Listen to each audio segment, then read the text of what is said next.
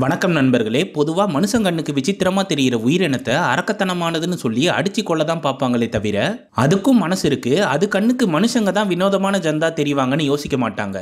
எல்லாமே உயிரினந்தான்ற எண்ணம் பலருக்கும் இருக்காது. ஒருவேளை மெர்மைட்ஸ்னு சொல்லப்படுற ஜீவன் உயிரோட இருந்தா என்ன பண்ணுவாங்க? அதை ஆராய்ச்சி பண்ணவும் அதுக்குன்னு ஃபிஷ் டேங்க் வச்சு அழகு பார்க்கவும் தான் நினைப்பாங்க. அப்படி மனிதர்கள் போல உருமாறக்கூடிய ஒரு வகையான கடல்வாழ் உயிரினம் மனிதர்கள் வாழ்ற இடத்துல வாழ நினைக்கிறத பத்தியும் அவங்கள மனிதர்கள் ஏத்துப்பாங்களான்றத பத்தியும் சித்தரிச்சிருக்க என்ரிகோ கேசரோசாவோட இயக்கத்துல வந்த அனிமேஷன் மூவியான லூக்காவை பத்தி பார்க்கலாம் வாங்க. அதுக்கு முன்னாடி நம்ம சேனலுக்கு புதுசா வரவங்க மறக்காம ஃபிலிம் ஃபெதர்ஸ்க்கு சப்ஸ்கிரைப் பண்ணிடுங்க. அண்ட் நோட்டிபிகேஷன்ஸ் உடனே வர பெல் ஐக்கான தட்டி விட்டுருங்க. இட்டாலியை சேர்ந்த ஒரு தீவுல ரெண்டு மீனவர்கள் சீ மான்ஸ்டர்ஸ் வாழ்றதா சொல்லப்படுற இடத்துல மீன் பிடிக்க வரும்போது அவங்கள நோட்டம் விடுற வித்தியாசமான கடல்வாழ் உயிரினம் படகுல கைக்கு கிடைக்கிற பொருளை ஆட்டைய போடுற வேலையை பார்க்குது. அப்போ ஒருத்தர் அதை பார்த்து பதறினதும் நீந்தி போன கடல் ஜந்து அவங்க போட்ட வலையில சிக்கிடுது. அதுல இருந்து கஷ்டப்பட்டு வெளியே வந்து படகு மேல டைவ் அடிக்கிறத பார்த்த ஒருத்தர் அதை போட்டு தள்ள ஈட்டியை வீசுறாரு. ஆனாலும் அது எஸ் ஆயிடுது. அப்போ படகுல இருந்த கிராமபோனோட சேர்த்து சில பொருட்கள் கடல்ல மூழ்கிடுது. அந்த ஜந்த பார்த்த ரெண்டு பேரும் முதல்ல இங்க இருந்து கிளம்புவோம்னு போட்டை எடுத்துட்டு போறாங்க. இது இப்படி இருக்க ஆழ்கடல் பகுதியில அதே போல கடல் வாழ் உயிரினம் குடும்பம் குடும்பமா வாழ்ந்துட்டு இருக்கு அதுல ஒரு குடும்பத்தை சேர்ந்த சின்ன பையனா இருக்கிற லூக்கா ஆடு மேய்க்கிற மாதிரி மீன்களை மேய்க்கிற வேலையை பார்த்துட்டு இருக்கான். அவனோட இப்போதைக்கு ஆசை ஒண்ணுதான். கடல் வெளியே என்ன இருக்குன்னு பார்க்கணுன்றது மட்டும்தான். அப்போ மந்தையில இருந்து தனியா போன மீன்களை ஒண்ணு சேர்த்து படகு இல்லாத இடத்துல பாதுகாப்பா மேய விட்டுட்டு இருக்கான். மீன்கள் அதுங்க வேலையை பார்க்க போர் அடிச்சு உக்காந்த லூக்கா முட்டை விட்டு விளையாடும் போது அங்க ஒரு அலாம் கிளாக்க பாக்குறான் அதை எடுக்கலாமா வேணாமான்னு ஆர்வமா யோசிச்சுட்டு ஆர்வத்தை அடக்க முடியாம அதை எடுத்து பார்க்கும்போது அலாரம் அடிக்குது. அதனால பீதியாகி முழிக்க முன்னாடி பார்த்தா சீட்டு காடு ரெஞ்சின்னு இருக்க. அதை எடுத்து பார்க்க போறப்போ மேல போட் வர்றதை பார்த்ததும் மீன்களை பாறை இடுக்கல போக சொல்லிட்டு பீதியில அவனும் ஒளிஞ்சு நின்றுறான் அந்த படகை பார்த்து மேல போகணும்னு ஆசைப்பட்டு கனவு காணும்போது கடலை விட்டு வெளியே போக முடியாம ஏதோ ஒன்னு தடுக்குது. அது என்னன்னு பார்த்தா அவங்க அம்மா சொன்ன வார்த்தை தான். கடலுக்கு வெளியில போனா அங்க இருக்கிற அரக்கங்க நம்மள அறுத்து தள்ளிடுவாங்கன்னு. அதனாலதான் கனவுல கூட அவனால கடலை விட்டு வெளியே போக முடியல. அப்போ அம்மா லஞ்ச் ரெடின்னு குரல் கொடுத்ததும் லூக்கா கடிகாரத்தையும் சீட்டுக்காடையும் பாறை இடுக்கல பதுக்கிட்டு ரெஞ்ச் அப்புறமா எடுத்துக்கலாம்னு மீன்களை கூட்டிட்டு வீடு வந்து சேர்றான். மீன்களை அதுக்காக அமைக்கப்பட்ட இடத்துல விட்ட பையன்கிட்ட என்னப்பா எதனா போட்டை பாத்தியா? நான் சின்ன வயசா இருக்கப்போ அந்த அரக்கனுங்க வர போட்ல எந்த மோட்டரையும் பார்த்ததில்ல. கை வலிக்க துடுப்பு போட்டு வந்து மீனை பிடிச்சிட்டு போவானுங்க. அவனுங்க கிட்ட மட்டும் ரொம்ப ஜாக்கிரதையா இருக்கணும்னு பாடம் நடத்துறாங்க மம்மி. உள்ள பாட்டிக்கு வணக்கம் சொல்லிட்டு அப்பா என்ன பண்றாருன்னு பார்க்க வித்தியாசமான ஜீவராசிகளை பெட்டா வச்சிருக்கிற போட்டிக்கு வினோதமான நண்டை பிடிச்சி வச்சிருக்காரு டேடி. போன வாட்டி நடந்த போட்டியில பக்கத்து வீட்டுக்காரி டால்பினை கத்த விட்டு ஜெயிச்சா. இந்த வாட்டி நண்டை விட்டு கடிக்க வச்சு நாம ஜெயிக்கணும். அந்த டால்பின் என்ன கன்றாவையா கத்துச்சுன்னு அதுக்கு பிரைஸ் கொடுத்தாங்கன்னு கத்தி காட்டுறாங்க மம்மி. இதை பத்தி எதையும் காதல வாங்காத லூக்கா வெளியே என்ன இருக்கும்னு யோசிச்சுட்டு இருக்கிறத பார்த்த பாட்டி மண்டையில என்ன படம்பா ஓடுதுன்னு கேட்டதும் அந்த போட்லாம் எங்க இருந்து வருதுன்னு லூக்கா கேட்க அதனால புறக்கு ஏறின டேடி துண்ண செடிங்களை கக்குறாரு. அது பக்கத்துல இருக்கிற நிலப்பரப்புல இருந்து தான் வருது. அங்க ஒருத்தனை சீட்டு கட்டுல சில்லறைய புடிங்கிருக்கேன் தெரியுமான்னு பாட்டி சொல்றாங்க. நீங்க வெளியே போய் உங்க உருவத்தை மாத்துனீங்களான்னு ஆச்சரியமா கேக்குறான் லூக்கா போதும் நிறுத்துன்னு மம்மி லூக்காவை அதட்டினதும் ஒரு ஆர்வத்துல கேட்டேன் தப்பான்னு கேட்க ஆர்வமா இருக்கிறவங்க தான் மத்தவங்க வீசின வலையில அவங்களா போய் சிக்குவாங்க. நாம இத பத்தி பேசவோ யோசிக்கவோ இல்ல கரைக்கு போகவோ கூடாது. புரிஞ்சுதா? அதனால இப்ப நம்ம வேலையை பார்ப்போமான்னு சொல்லி லஞ்ச கொடுத்து வழி அனுப்பும்போது என் கண்ணை பாரு அம்மா உன் மேல எவ்வளவு பாசம் வச்சிருக்கான்னு தெரியுதான்னு பத்திரமா போயிட்டு வான்னு அனுப்பிட்டு நம்ம பையனை பத்தி நாளுக்கு நாள் கவலை அதிகமாகுதுன்னு மம்மி புலம்ப அதை கவனிக்காம நண்டை நோண்டிட்டு இருக்க டேடியை பார்த்து சளிப்படைகிறாங்க மீன்களை மேய விட்ட லூக்கா அந்த ரெஞ்சை எடுத்துட்டு முன்னாடி இருந்த சரக்கு கிளாஸை எடுத்து அது வழியா பார்க்கும்போது தூரத்துல இருந்த கிராமபோன் தெரிஞ்சதும் அது கிட்ட போய் ஆராய்ஞ்சு பார்க்கும்போது பின்னாடி டைவிங் சூட் போட்டு வந்த ஒருத்தர் ஈட்டியோட வந்து நிக்கிறத பார்த்துட்டு மரண பீதியில கத்திட்டு கண்ணு மண்ணு தெரியாம பாறையில மோதி இடுக்குல வந்து நின்னதும் அந்த சூட்டு போட்டவர் கிட்ட வந்து பயந்துட்டியான்னு கேட்டு ஹெல்மெட் அவுத்து நான் மனுஷன் கிடையாது உன் இனம்தான்னு காமிச்சதும் நல்ல வேலை பொழைச்சேன்னு சொன்ன லூக்கா கிட்ட ஈட்டிய புடின்னு போட்டு படகுல விழுந்த பொருளை எடுக்க போக லூக்கா அந்த ஈட்டிய பீதியிலேயே பிடிக்கிறான். அங்க இருந்த பொருட்களை எடுத்த ஜீவன் கிட்ட நீயும் இங்க தான் வாழ்றியான்னு லூக்கா கேட்டதும் நான் தண்ணிக்குள்ள வாழ்றது இல்ல தரையில தான் வாழ்ந்துட்டு இருக்கேன்னு சொல்லி லூக்காவோட மீன் மேய்க்கிற குச்சியை எடுத்துட்டு போறான். ஏன்பா அது எந்தப்பான்னு சொல்றதுக்குள்ள கரைக்கு போன ஜீவன் ஈட்டிய வாங்கிட்டு நிற்கும் போது மனுஷனா காட்சி அளிக்கிறத பார்த்து ஆச்சரியப்பட்ட லூக்காவை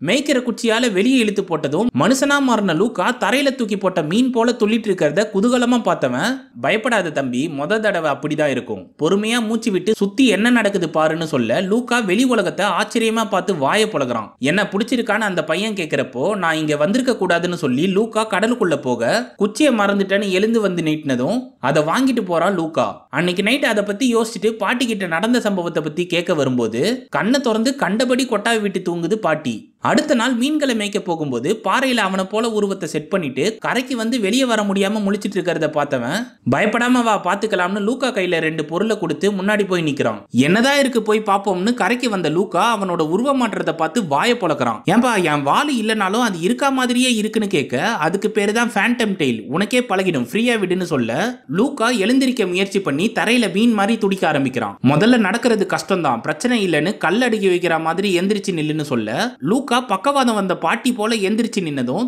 தண்ணியில நீந்துற மாதிரி தரையில நடக்க முயற்சி பண்ணுன்னு பையன் சொல்ல காத்துல நீச்சல் அடிக்கிற மாதிரி தலையை நீட்டி விழுறான் லூக்கா அந்த பையன் என்ன சொன்னாலும் லூக்கா ஏருக்கு மாறா நடக்க முயற்சி பண்ண அவனே முன்னாடி வந்து கீழே விழாம உன்னனையே தாங்கி புடியா. அவ்வளவுதான் நடக்கிறதுன்னு முன்னாடி தள்ளினதும் லூக்கா தட்டு தடுமாறி நடக்கிறத கத்துக்கிறான். என் பேரு ஆல்பர்டோன்னு அந்த பையன் கையை நீட்டினதும் ஷேக் ஹேண்ட் கொடுக்க தெரியாம என் பேரு லூக்கான்னு சாபுத்திரி போடுற மாதிரி கையை மேல வைக்க அல்பர்டோ பக்காவா ஷேக் ஹேண்ட் பண்ணி சாஃப்ட் கையா இருந்தாலும் ஷார்ப்பா கை கொடுக்க தெரியணும்னு சொல்றாரு.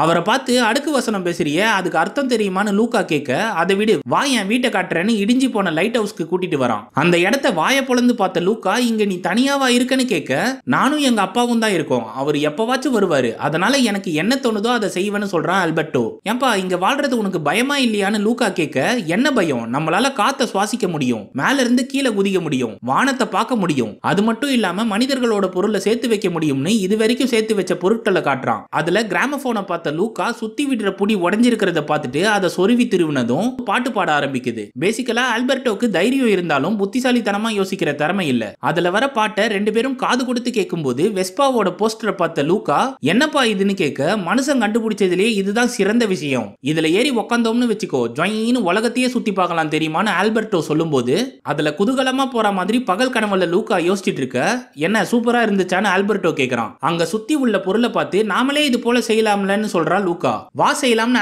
கூப்பிட்டதும் டைம் ஆச்சு. நான் வீட்டுக்கு போலனா எங்க அம்மா என்ன டின்னு கட்டிடுவாங்கன்னு ஆர்வத்தை அடக்க முடியாம அம்மா திட்டுவாங்கன்னு சொல்லியே ரெண்டு மணி நேரம் உட்காந்து வண்டியை ரெடி பண்ணிட்டு நாளைக்கு ஓட்டி பார்க்கலாம்னு சொல்லி மீன்களை கூட்டிட்டு ஆழ்கடல் வீட்டுக்கு வந்ததும் ஏன்டா இவ்வளோ நேரம்னு மம்மி மிரட்டி கேட்கும்போது உண்மையை வளர்னா வச்சு செஞ்சிடுவாங்கன்னு முழிச்சிட்டு நிக்க. நான் தாமா அவனை கடல் வெள்ளரிக்காவை தேட அமிச்சேன்னு பாட்டி சொல்லி சமாளிக்கிறாங்க. அன்னைக்கு நைட்டு லூக்கா பைக்கை ஓட்ட போறோம்னு சந்தோஷமா படுத்து எந்திரிச்சதும் அடுத்த நாள் சந்தோஷமா கரைக்கு வந்து பார்க்க அல்பர்ட்டோ ஓட்ட ஓட்ட சில வச்சு செஞ்ச பைக்கை கீழே இறக்கி நிறுத்திட்டு சருவல்ல சறுக்கிட்டு போவோமான்னு காமிச்சதும் என்னால முடிக்க முடியாதுன்னு சொன்ன லூக்காவை ரேம்பை பிடிக்க சொல்லிட்டு அல்பர்டோ பைக்கை வேகமா ஓட்டிட்டு வரும்போது எல்லா பார்ட்ஸும் அக்காக்கா பிரிஞ்சு வந்ததும் நிக்காம ஓடி வந்த அல்பர்டோ ரேம்ப்ல ஏறி டைவ் அடிக்கிறான். லூக்கா கீழே எட்டி பார்க்கும்போது அல்பர்டோ தலைகீழ மதந்துட்டு இருக்கிறத பார்த்துட்டு அவனை நான் கொன்னுட்டேன்னு ஃபீல் பண்றான். நான் சாவல பக்கி வா அடுத்த ரவுண்டு ஓட்டுறதுக்கு பைக்கை ரெடி பண்ணுவோம்னு சொல்லி மறுபடியும் உருவாக்க ஆரம்பிக்கிறாங்க ரெண்டு பேரும். அப்போ லூக்காவுக்காக சட்ட ட்ரௌசரை கொடுத்து ரெண்டு பேரும் சந்தோஷமான நண்பர்களா பழக ஆரம்பிக்கிறாங்க. மறுபடியும் பைக்கை ரெடி பண்ணி ஓட்டினாலும் அக்கக்கா பிரிஞ்சு போதே தான் தவிர பக்காவா ரேம்ப்ல குதிக்க முடியாம தான் இருக்கு. இது இப்படி இருக்க லூகா செஞ்சு வச்ச சிலையை கண்டுபிடிச்ச மம்மி அப்பாவை கூப்பிட்டு காட்டுறாங்க. மேல டைவ் அடிச்சுட்டு விளையாடிட்டு இருக்க லூக்கா ஸ்கெட்ச் போட்டு பைக்கை ரெடி பண்ண ஒரு நாளை போல இந்த பையன் கல்ல வச்சுட்டு எங்க போறான்னு மறைஞ்சு பார்த்த மம்மியும் டேடியும் புள்ள கரை ஒதுங்கிறத கண்டுபிடிச்சிடுறாங்க. இது தெரியாத லூக்கா ஆல்பர்டோ கூட மனிதர்கள் மீன் பிடிக்கும் போது என்ன பண்றாங்கன்னு பார்க்கும்போது வலைய அறுத்துட்டு போன ஒருத்தனை மூளைகெட்ட மூதேவின்னு திட்டுறதை கேட்டு அதே போல பேசி பழகுறாங்க லூக்காவும் ஆல்பர்டோவும். நெருங்கின நண்பர்களா சேர்ந்து செஞ்ச பைக்ல டபுள்ஸ் போய் ஜம்ப் அடிப்போம்னு ஆல்பர்டோ சொல்ல என்னால முடியாதுன்னு லூக்கா பயத்துல சொன்னதும் இங்க பாரு எல்லாரோட மைண்ட்லயும் பயத்தை உண்டாக்குற பூச்சாண்டி இருக்கும். அது சொல்றதை கேட்காம இருக்க ஒரே வழி பேசாம இரு பூச்சாண்டின்னு சொல்லு போதும்னு ஆல்பர்டோ தைரியம் வர வைக்க சொல்றான். அது என்னப்பா பூச்சாண்டின்னு லூக்கா கேட்க பயத்துக்கு வாயில வந்த பேரை வச்சிட வேண்டியதுதான். அதை விட நான் சொல்றத சொல்லுன்னு சொன்னதும் அதை மந்திரமா சொல்லி லூக்கா வண்டியில ஏறி சருவல்ல வேகமா போகும்போது வண்டி ரெண்டா பிரிஞ்சு போக ஆல்பர்டோவை இறுக்கமா கட்டி பிடிச்சிட்டு பேசாம இரு பூச்சாண்டின்னு லூக்கா கண்ண மூடி சொல்ல ஆரம்பிக்க ஆமை மேல வச்ச ரேம்ப்ல வேகமா ஏறினதும் காத்துல பறந்த ரெண்டு பேரும் வாய புழக்க பப்பரப்பான பாறையை நோக்கி விழும்போது சுதாரிச்ச லூக்கா ஆல்பர்டோவை முன்னாடி தள்ளுறான். அதனால ரெண்டு பேரும் சேஃபா தண்ணியில லேண்ட் ஆகுறாங்க. வேற லெவல் ஃபன் பான்னு சொல்லிட்டு ராத்திரி வரைக்கும் அங்கேயே படுத்த லூக்கா நட்சத்திரங்களை காமிச்சு இது என்னப்பான்னு கேட்டதும் அதெல்லாம் பொடி திலீபா வட்டமா இருக்கு பாரு அதுதான் பெரிய மீன். அதை நான் தொட்டு பார்த்திருக்கேன்னு வாய்க்கு வந்ததை ஆல்பர்டோ அளந்து விடும்போது உனக்கு பல விஷயம் தெரிஞ்சிருக்கு. சரி மனிதர்கள் வாழ்ற ஊருக்கு போயிருக்கியான்னு லூக்கா கேட்டதும் நான் போனதில்லை. ஆனா என் எங்க அப்பா அந்த இடத்த பத்தி சொல்லியிருக்காருன்னு ஆல்பர்டோ சொல்றான். அங்க ஒரிஜினல் வெஸ்பா இருக்கும்லன்னு கேட்ட லூகா டபுள்ஸ்ல ஆல்பர்டோ கூட ஓட்டி பாக்குற மாதிரி கனவு காண்றான். அப்படியே போகும்போது பெரிய ரேம்ப்ல ஏறி வானத்துல இருக்கிற விண்மீன்களை பார்த்து அங்க இருக்கிற பெரிய மீனை தொட வரும்போது வெறும் வெஸ்பா மட்டும் கீழே விழுறத பார்த்து பதறி போய் எழுந்திருக்க. நேரங்காலம் தெரியாம இங்கே படுத்துட்டேன் வீட்டில் வேற தேடுவாங்க பாடம் பீதிலேயே வந்து சேர்ந்ததும் அவனுக்காக ரெடியா வெயிட் பண்ண மம்மியும் டேடியும் இனிமே நீ கரையில கால் எடுத்து வைக்கிறத பத்தி கனவுல கூட நினைச்சு பார்க்க கூடாது புரிஞ்சுதான்னு மம்மி மிரட்டி சொன்னதும் நாங்க ரொம்ப ஜாக்கிரதையா தான் இருப்போம்னு லூக்கா சொல்றான். உன் கூட வேற யாருன்னு அட் டைம்ல ரெண்டு பேரும் கேட்க அவன் நம்ம இனத்தை சேர்ந்தவன் தானே லூக்கா சொல்லும்போது சேர்க்க சரியில்லைனா சீரழிய வேண்டியதுதான்னு பல்பு மண்ட சித்தப்பா சொல்றாரு. இவர் ஏன் இங்க வந்திருக்காருன்னு லூக்கா கேட்க தம்பி நாம வெளிச்சமே இல்லாத ஆழ்கடல் பகுதிக்கு போக போறோம்னு சித்தப்பா சொல்றாரு. என்ன சொல்றீங்கன்னு வெறுப்புல கேட்ட லூக்காவை உன் பாதுகாப்புக்காக எங்க வேணும்னா அனுப்ப நான் தயாரா இருக்கேன்னு மம்மி சொன்னதும் செம்ம காண்டில் அங்க இருந்து கரைக்கு வந்து ஆல்பர்டோ கிட்ட புலம்புறான் லூக்கா. பிரச்சனை இல்ல நாம மனிதர்கள் வாழ்ற ஊருக்கு போய் வெஸ்பா வச்சிருக்கிற ஓனர் கிட்ட நமக்கு ஒரு வெஸ்பா வேணும்னு கேட்போம். அதுல உலகத்தையே சுத்தி வருவோம் நம்மள கண்டிக்க யாரும் இருக்க மாட்டாங்கன்னு சொல்லி ஊருக்குள்ள போக ஆல்பர்டோ டைவ் அடிச்சதும் பயத்தை கண்ட்ரோல் பண்ண பெசாம இரு பூச்சாண்டின்னு சொன்ன லூக்காவும் குதிக்கிறான். கடல்ல நீந்தி போகும்போது வெளியே குதிக்கிறப்போ மனுஷனா மாதிரி என்ஜாய் பண்ணிட்டே ரெண்டு பேரும் ஊர் கரைக்கு வந்து சேர்றாங்க.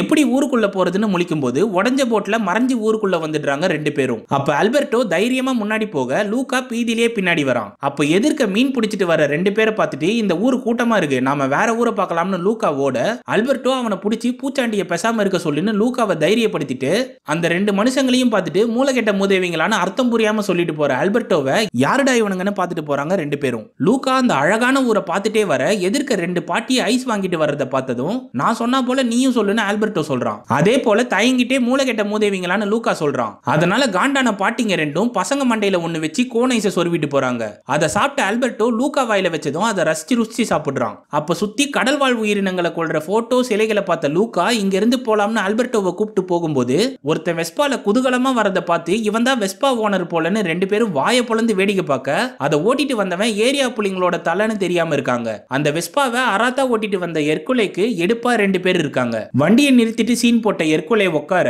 லூக்காவும் ஆல்பர்டோவும் அவர்கிட்ட பேச வரும்போது ஃபுட்பால் விளையாடின பசங்க பாலை பாஸ் பண்ணுன்னு லூக்கா கிட்ட கேட்டதும் அதை ஓங்கி உதைக்கிறான் லூக்கா. பால் செவுத்துல அடிச்சு பைக்ல பட்டதும் வண்டி கீழே விழும்போது அல்ல கையை படுக்க வச்சு ஸ்கிராச் விழாம காப்பாத்திடுறான் எர்கோலே யாருப்பா அது பால உதச்சதுன்னு கேட்க குட்டி பசங்களாம் லூக்காவை காட்டினதும் அதான பார்த்தேன். வெளியூர் பசங்களான லூக்காவையும் ஆல்பர்ட்டோவையும் கலாச்சிட்டு தம்பி நான் போர்ட்ரோசோ கப்ப அஞ்சு வாட்டி ஜெயிச்சு தான் அந்த பைக்கை வாங்கினேன் சரியா? பார்த்து நடந்துக்கணும். ஆமா உன் மேல ஏன் கெட்ட நாத்தம் அடிக்குதுன்னு சொல்லி லூக்காவை தூக்கிட்டு போக.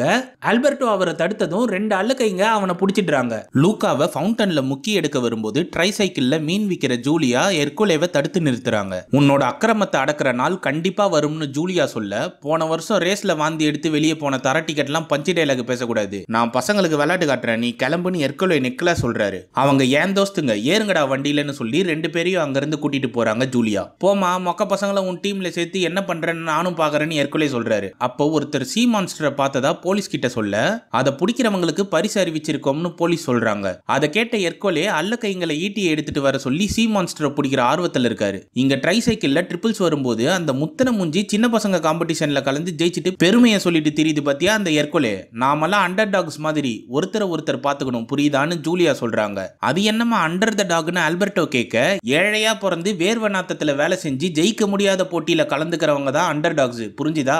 அது இருக்கட்டும் நீங்களும் ரேஸ்ல கலந்துக்க தான் வந்தீங்களான்னு ஜூலியா கேட்க ரெண்டு பேரும் திரு திருன்னு முழிக்கிறத பார்த்துட்டு சரி நான் வேலையை பார்க்கறேன்னு கிளம்புறாங்க. அப்ப அந்த போட்டியில ஜெயிச்சு தான் வெஸ்பாவை வாங்கினேன்னு சொன்னான்ல அவகிட்ட இந்த போட்டியை பத்தி கேட்போம்னு சொன்ன லூக்கா ஆல்பர்டோவை முன்னாடி அனுப்பி ஜூலியா கிட்ட பேச விட ஏமா இந்த போட்டியில ஜெயிச்ச என்ன கிடைக்கும்னு கேட்கிறான் அல்பர்டோ என்ன கொஞ்சம் பணமும் ஒரு கப்பும் தருவாங்கன்னு சொல்லிட்டு வேலையை பார்க்க போனதும் அதை வச்சு செகண்ட் ஹேண்ட் வெஸ்பாவை காமிச்சு இதை வாங்க முடியுமான்னு கேட்க அவ்வளோ தேராது வேணும்னா அந்த துருப்பிடிச்ச வெஸ்பாவை வாங்கலாம்னு சொல்றாங்க ஜூலியா. அதையும் வாயை பொளந்து பார்த்த ரெண்டு பேரும் குதூகலமா ஓட்டுறத கனவு கண்டு கண்டிப்பா ரேஸ்ல ஜெயிக்கிறோம்னு சொல்றாங்க. அதுக்கு நீங்க எர்கோலேவை ஜெயிக்கணும்னு ஜூலியா சொல்ல ஜெயிச்சிட்டா போச்சுன்னு ஆல்பர்டோ சொல்றான். எனக்கு முன்னாடி அவனை யாரும் ஜெயிக்க கூடாது சரி இந்த ரேஸை பத்தி தெரியுமா? ஸ்விம்மிங் முடிச்சு பாஸ்தா சாப்பிட்டு சைக்கிளிங் பண்ணணும். ரொம்ப கஷ்டம். டீமா செஞ்சா கண்டிப்பா ஜெயிக்கலாம்னு ஜூலியா சொல்றாங்க. அவங்க கூட நாம சேர்ந்து ஜெயிக்க முயற்சி பண்ணுவோம்னு லூக்கா கொடுத்த ஐடியா படி அல்பர்டோ கேட்டதும் உங்க திறமை என்னன்னு பார்த்து தான் நான் டீம்ல சேர்த்துப்பேன். சரி சைக்கிளை ஓட்டி காமிங்கன்னு தர.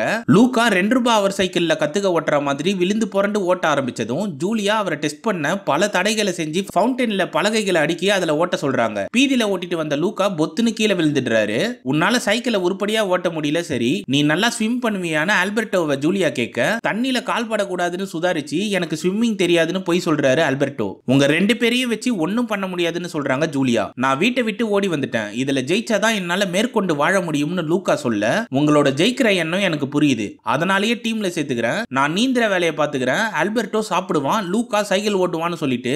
நமக்கு தேவை என்ட்ரி ஃபீஸ் மட்டும்தான். அப்பா கிட்ட இதை பத்தி கேட்போம்னு சொல்லி வீட்டுக்கு ரெண்டு பேரையும் கூட்டிட்டு வராங்க. பொண்ணு சாஃப்டா இருக்கிறத பார்த்துட்டு அப்பா சப்பையா இருப்பாருன்னு பார்த்தா மொரட்டு உடம்போட ஒத்த கை இல்லாம வெறித்தனமா மீனை வெட்டுறத பார்த்துட்டு சுத்தி வேட்டையாடுற ஈட்டிங்களையும் பார்த்த லூக்கா முட்டாள் மூதேவின்னு திட்ட வந்த ஆல்பர்ட்டோவை ஆய மூடுறான். பசங்களுக்கு பாஸ்தா ரெடி பண்ணும்போது இந்த ஈட்டிங்களை வச்சு என்ன பண்ணுவீங்கன்னு ஆல்பர்டோ கேட்டதும் நீந்துறது எதுவா இருந்தாலும் சொருவறதுக்கு தான் அந்த ஈட்டின்னு சொல்றாரு மொரட்டு டேடி இந்த இடத்துல சி மான்ஸ்டர் இருக்குன்னு அவன் பொருளைய கிளப்பி விட்டுட்டு இருக்கான். அது இல்லாம போட்டோஷாப்ல ரெடி பண்ண போட்டோவை காமிச்சு ஊரை ஏமாத்துறாங்கன்னு ஆல்பர்ட்டோவோட போட்டோவை நியூஸ் பேப்பர்ல காட்டுறாங்க ஜூலியா. அது உண்மைதான்னு புடுங்கி கத்தியால குத்தி நோட்டீஸ் போர்டுல சொருகிறாரு மொரட்டு டேடி அதனால தண்ணி குடிச்சிட்டு இருந்த லூக்கா பீதி அடைஞ்சு ஆல்பர்ட்டோ மூஞ்சில கொப்புளிச்சதும் உருவம் மாற ஆரம்பிக்க அவனை டேபிள் கடியில இழுத்துடுறான் லூக்கா அப்போ தண்ணியை தொடச்சி நல்ல புள்ள மாதிரி மேல உட்காந்துடுறாங்க ரெண்டு பேரும். டின்னர் ரெடி பண்ணி டேபிள்ல வச்சதும் ஃபோர்கால சாப்பிட தெரியாத லூக்கா முழிச்சிட்டு இருக்க ஆல்பர்டோ தயக்கப்படாம கையில எடுத்து சாப்பிடுறான். அதை பார்த்து லூக்காவும் கையில சாப்பிட வெறும் இலை தலைகளை சாப்பிட்ட ரெண்டு பேருக்கும் பாஸ்தாவோட டேஸ்ட் ரொம்ப பிடிச்சதால முரட்டுத்தனமா சாப்பிட்டு தட்டை வலிச்சு நிக்கிறாங்க. அவங்கள பார்த்த முரட்டு டேடி எங்க இருந்து பா வரீங்கன்னு கேட்க அம்மா கூட சிட்டில படிக்கிற ஜூலியா என்ன போல லீவுக்கு நம்ம ஊர்ல நடக்கிற ரேஸுக்கு வந்தாங்கன்னு சமாளிக்கிறாங்க. அந்த ரேஸ்ல கலந்துக்க என்ட்ரி ஃபீஸ் கட்டணுமே என்கிட்ட காசு இல்லையேமான்னு அப்பா சொல்ல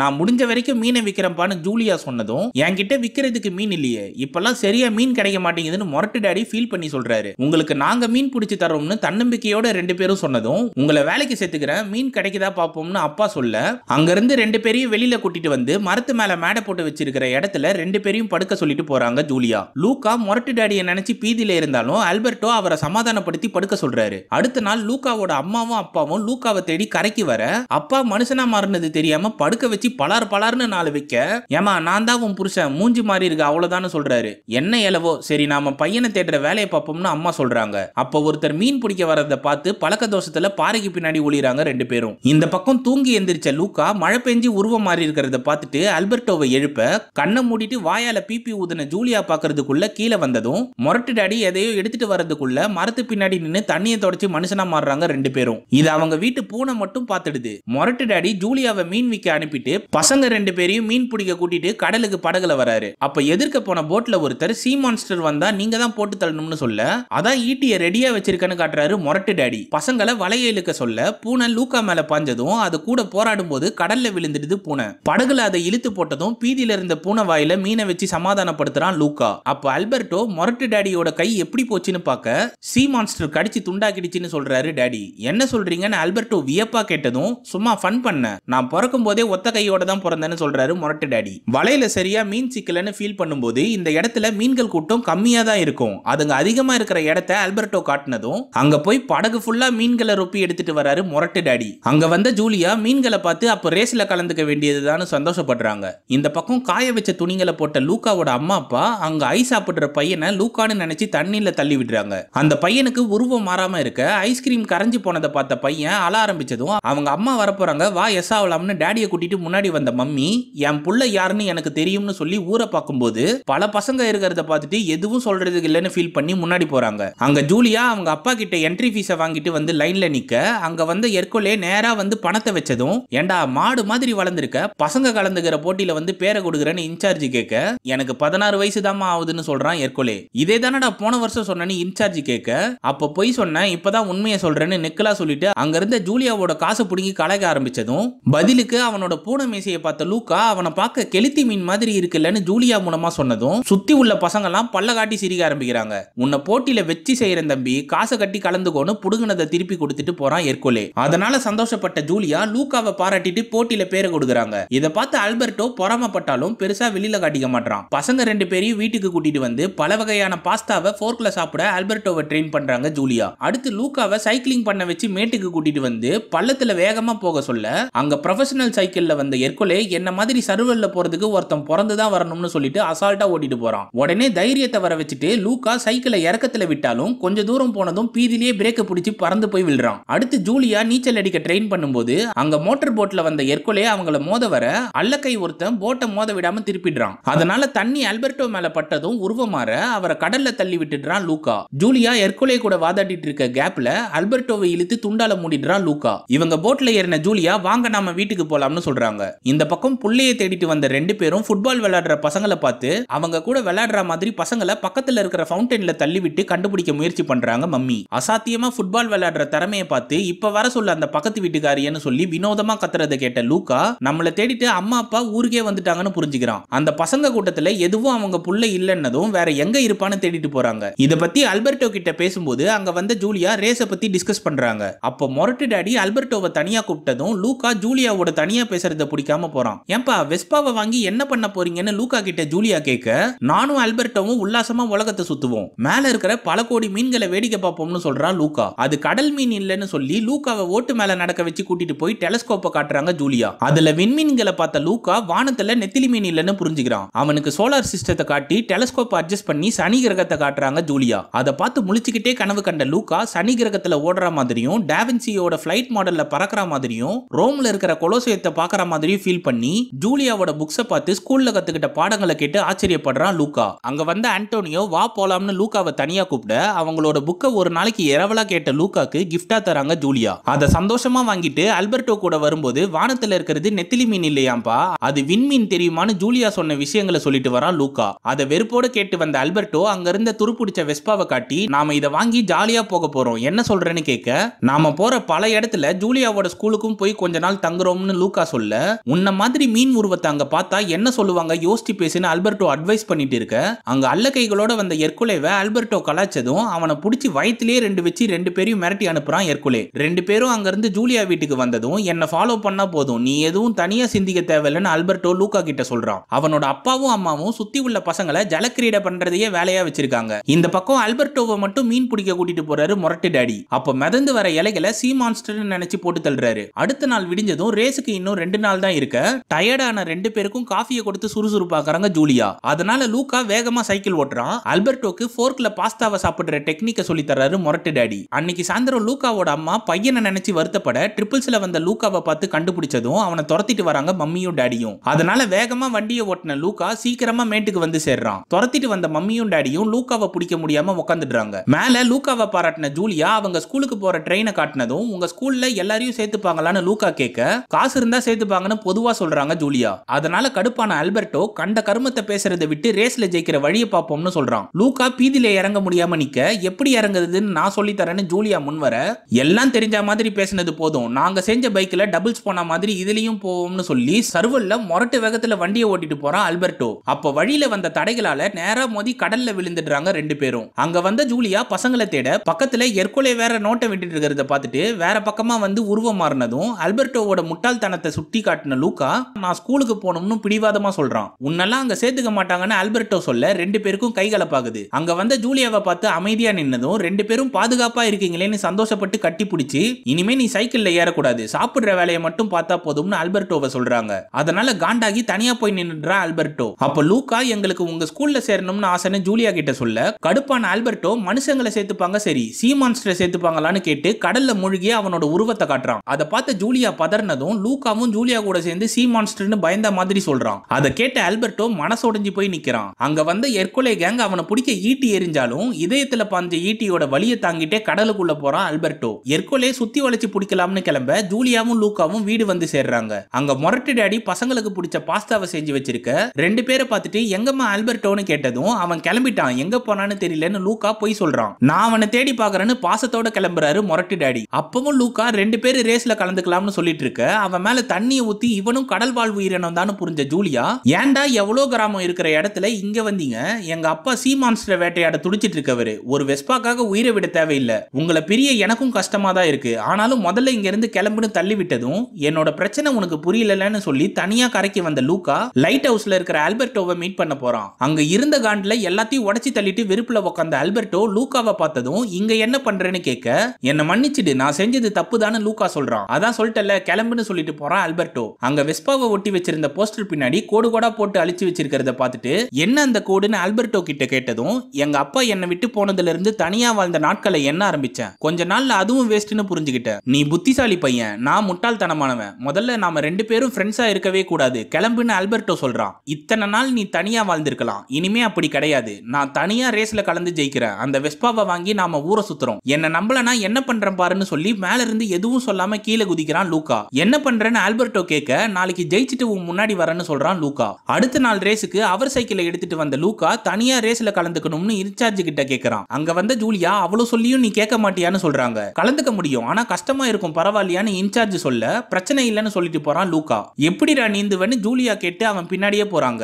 இது இப்படி இருக்க அங்க வந்த லூக்காவோட அம்மா அப்பா கிட்ட பசங்களுக்கு தண்ணி சப்ளை பண்றதுக்கும் வாந்தி எடுத்தா பக்கெட்டை பிடிக்கிற வேலையும் தராரு ஒரு ஆளு. இது மூலமா லூக்காவை பிடிச்சிடலாம்னு ஒத்துக்கிறாங்க ரெண்டு பேரும். எல்லாரும் ஸ்விம்மிங் பண்ண ரெடியாக இருக்க எர்கோலே அவனோட அல்லக்கை ஒருத்தரை ஸ்விம்மிங் காம்படிஷனில் கலந்துக்க வச்சு ஈஸியாக நீந்தறதுக்காக எண்ணெயை ஊத்துறான். அப்போ லூக்கா மட்டும் டைவிங் சூட்டு போட்டு வந்து நிற்கிறான் அவனை கலந்துக்காதன்னு ஜூலியா தடுக்க ரேஸ் ஆரம்பிக்க போது சி மான்ஸ்டர் வந்தா போட்டு தள்ள ஆளுங்க ரெடியா இருக்காங்கன்னு சொல்லி மணி அடிச்சதும் ஜூலியா லூக்காவை தடுக்க முடியாதுன்னு புரிஞ்சு ஸ்விம் பண்ண கிளம்புறாங்க. தைரியத்தை வர வச்ச லூக்கா டைவிங் சூட்டு போட்டு கடலுக்குள்ள நடந்து வரான். எண்ணெயை ஊத்தி அனுப்புன அல்லக்கையை நெத்திலி மீன்லாம் சேர்ந்து கடிக்க முன்னாடி போனவன் அதுங்களை தட்டி விடுற வேலையை பார்க்கறான். கீழே நடந்து வந்த லூக்காவோட ஹெல்மெட் உடைஞ்சாலும் மனம் தளராம முன்னாடி வரான். அப்போ ஸ்விம்மிங் ரேஸ்ல ஃபர்ஸ்ட் வந்த ஜூலியா ட்ரெஸ்ஸை மாத்திட்டு சாப்பிடுற போட்டிக்கு வந்து உட்காந்துடுறாங்க லூக்கா மண்டைய மூடி கரைக்கு வந்து சேர அவன் காலை தட்டி விடுறான் எர்கோலே மாறி போன மண்டை வெளியே தெரிஞ்சதும் அதை உள்ள இழுத்து டேபிளுக்கு அடியில பூந்து மனுஷனா மாறி சாப்பிட உட்காந்துடுறான் லூக்கா. அவனுக்கு ஃபோர்க்கை யூஸ் பண்ண தெரியாம முழிக்க ஜூலியா எப்படி சாப்பிடுறதுன்னு காட்டுறாங்க. அப்போ நெத்திலி மீன் கடியில கரைக்கு வந்த அல்லக்கை அடுத்த அல்லக்கைக்கு பாஸ் வைக்க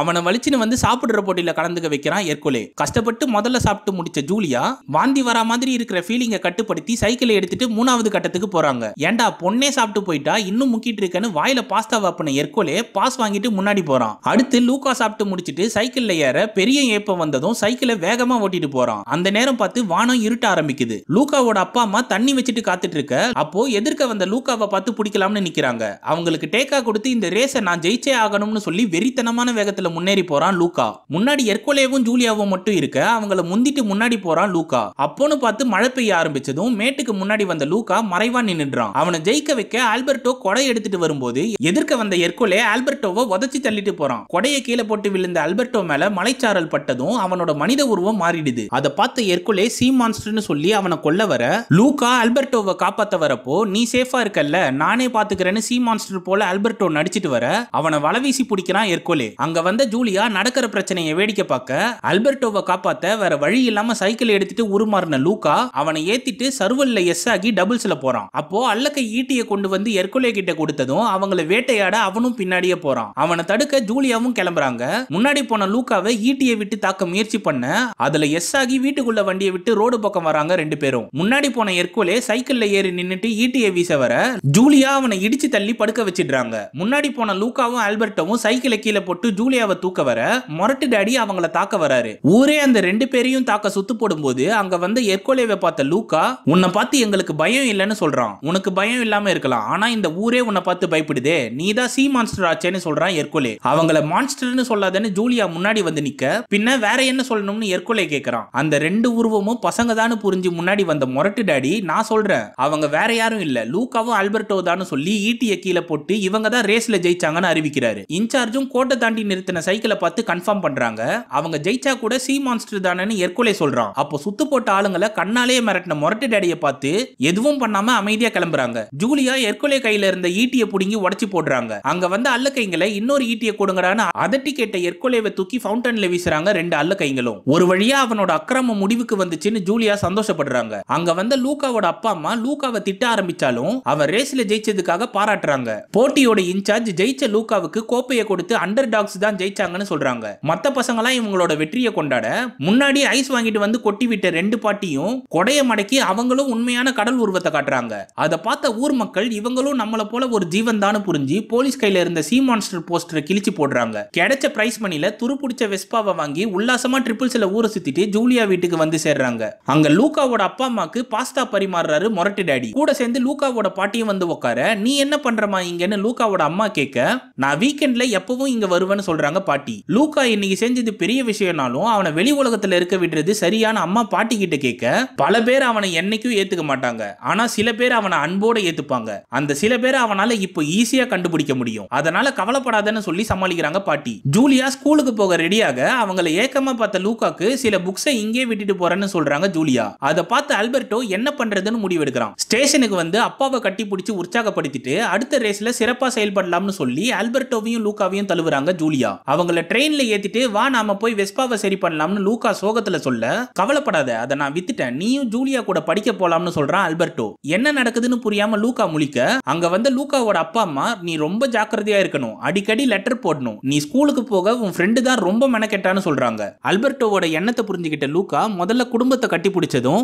என்னைக்கும் உனக்காக நாங்க இருக்கோம்னு அம்மா சொல்றாங்க. என் கண்ணை பாருங்கம்மா உங்க மேல எவ்வளவு பாசம் வச்சிருக்கேன்னு தெரியுதான்னு அன்போட சொல்லிட்டு கிளம்புறான் லூக்கா சந்தோஷத்தோட அல்பர்டோ கூட படிக்க போறோம்னு வா போலாம்னு கூப்பிட நான் மொரட்டி டேடி கூட மீன் பிடிக்க உதவியா இருக்க போறேன். கவலைப்படாம போன்னு சொன்ன அல்பர்டோவை கண்ணீரோட தழுவுறான் லூக்கா அவனை ட்ரெயின் ஏத்தி விட்டு சந்தோஷமா போன வழி அனுப்பும்போது உற்சாகமா போயிட்டு வான்னு சொல்றான் அல்பர்டோ லூக்கா அவனை பிரிஞ்சு கண்ணீர் சிந்தினாலும் மலையில உருவம் மாற வாழ்க்கையில மாற்றங்கள் ஏற்பட்டாதான் முன்னாடி போக முடியும்னு புரிஞ்சுக்கிறான். லூக்கா ஜூலியா கூடவே அவங்க அம்மா வீட்டுல தங்கி படிக்க ஆரம்பிக்கிறான். வாரத்துக்கு ஒரு வாட்டி ஊருக்கு லெட்டர் போடுறான். இந்த பக்கம் டைவிங் சூட்ல லூக்காவோட அப்பா அம்மா ஜூலியாவோட மொரட்டு டேடியா அவங்க வீட்டுக்கு வர வச்சு சந்தோஷப்படுறாங்க. அடுத்து குடும்பத்தோட போன்ல பேசி என்ஜாய் பண்றது லூக்காவோட உருவத்தை ஜூலியாவோட அம்மா வரைகிறது மொரட்டு டேடி அல்பர்டோவை புள்ள மாதிரி பாத்துக்கிறது கூட படிக்கிற மத்த பசங்களுக்கு லூக்கா அவரோட திறமையை காட்டுறதுன்னு அவங்க வாழ்க்கை இனிமையா போகுது. அந்த தீவு மக்களும் கடல் வாழ் உயிரினத்தை அன்போட நண்பர்களா ஏத்துக்கிறாங்க. இதோட படம் முடியுது. என்னதான் வேற உயிரினமா இருந்தாலும் அவங்கள அன்போட ஏத்துக்கிற அந்த மனசு தான் நம்மள ஒண்ணு சேர்க்குதுன்ற கருத்தூசியோட விளக்கத்தை முடிக்கிறேன். ஒருவேளை இந்த மாதிரி ஜீவனை நீங்க சந்திச்சா என்ன பண்ணுவீங்கன்னு கமெண்ட் செக்ஷன்ல சொல்லுங்க. இந்த வீடியோ உங்களுக்கு பிடிச்சிருந்தா தம்ஸ் அப் தெரிக்க விட்டு மத்தவங்களுக்கு ஷேர் பண்ணுங்க. புதுசா வரவங்க மறக்காம ஃபிலிம் ஃபதர்ஸ்க்கு சப்ஸ்கிரைப் பண்ணுங்க.